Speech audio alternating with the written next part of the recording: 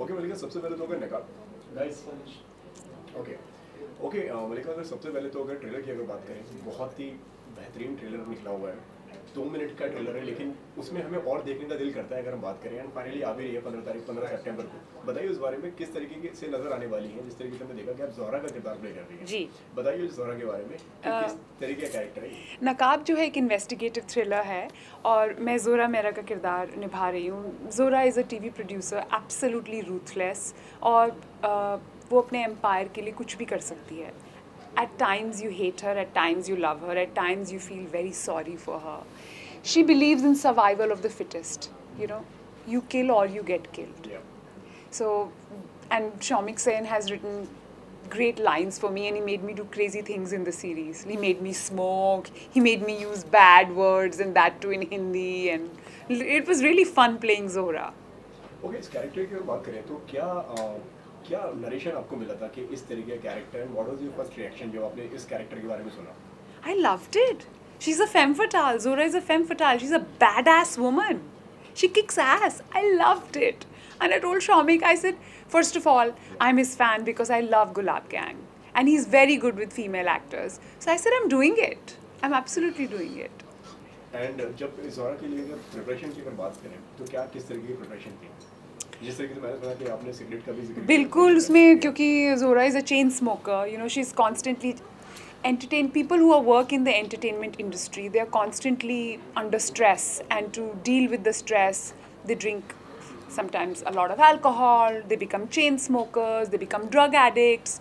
L- People cope in different ways. So Zora is a chain smoker. She smokes a lot, and मैंने कभी ज़िंदगी में cigarette उठाई नहीं मुझे सिगरेट पसंद नहीं है but I had to look cool and hold the cigarette style भी मारो, टशन भी पोज भी it was too much for me so इतने कुछ दिन तो ये सिगरेट कैसे पकड़नी है? स्वामीपुर से इतने डेलिकेट तरीके से मत पकड़ो स्ट्रांगली पकड़ो सिगरेट। और यहाँ लगाओ यहाँ लगाओ। इतने लेसन्स थे ना उस सिगरेट के लिए I can't tell you and और क्या इसके अलावा प्रिपरेशन थी? एंड कुछ रेफरेंस लिए अपने? कुछ इस कैरेक्टर को प्ले करने के लिए क्योंकि जहाँ तक मुझे याद है आपने इस तरीके का किरदार पहले कभी नहीं नहीं इस तरह का इस तरह के किरदार लिखे नहीं जाते जी जी exactly. लेकिन जो अभी ओ टी टी स्पेस आया है it's a very adventurous space जहाँ डायरेक्टर्स जो हैं राइटर्स ऐसे किरदार लिख रहे हैं they can be a woman like that who uses bad words in Hindi who smokes like that, who's absolutely ruthless in her ambition, and who wants to have an empire. There's nothing wrong with having an ambition. And जिस तरीके से आपने बताया इसके बारे में कि इस तरह के कैरेक्टर लिखे नहीं जा रहे हैं। ओटीटी को किस तरीके का प्लेटफॉर्म देखते हैं आप? मतलब एक अपॉर्चुनिटीज़ बढ़ गई हैं।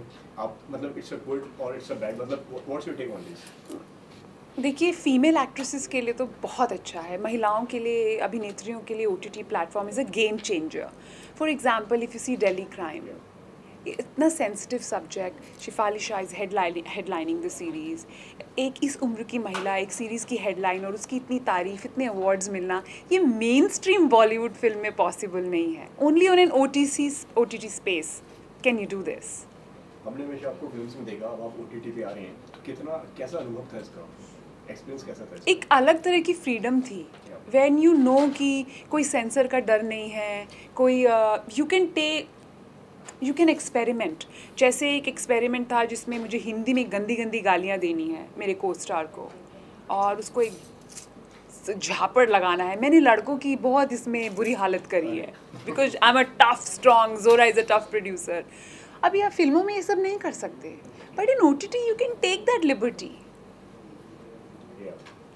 okay and इसी के साथ में अगर काफ़ी मतलब कम फ़िल्में आप करती हैं काफ़ी गैप के बाद में अब आप दोबारा से आ रही हैं। काफ़ी चूजी अब आपके काम को लेकर ये कहा जाए। चूज़ी भी हूँ और अच्छे रोल्स भी आने चाहिए ना। यूजुअली जो ऑफ़र रोल्स होते हैं वो वही सेम ओल्ड ग्लैमरस रोल्स अब उसका कुछ बहुत हो गए वो।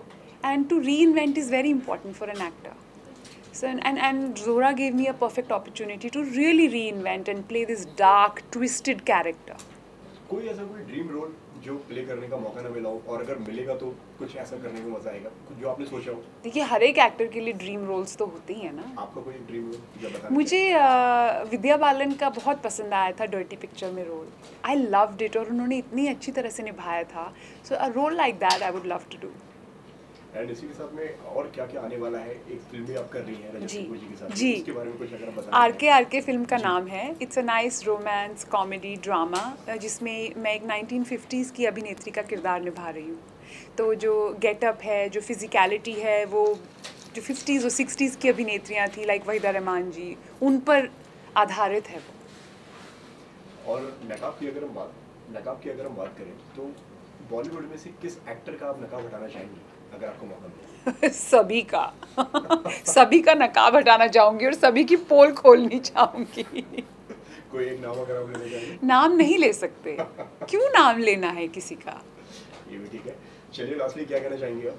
नकाब जो है 15 सितंबर को रिलीज़ है। बहुत ही मज़ेदार इन्वेस्टिगेटिव थ्रिलर है।